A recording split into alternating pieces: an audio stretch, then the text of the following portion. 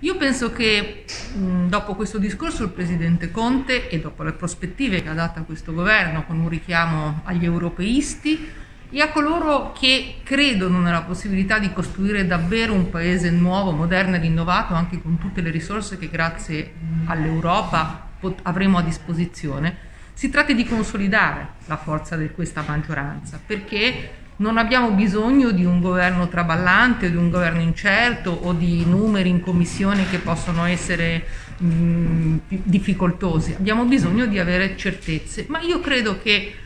dopo questo voto anche noi avremo intanto immagino due voti positivi, molto positivi in Parlamento sul discostamento di bilancio e sul recovery, cioè su quei soldi che devono andare alle imprese, alle famiglie che stanno vivendo tutte le difficoltà che conosciamo.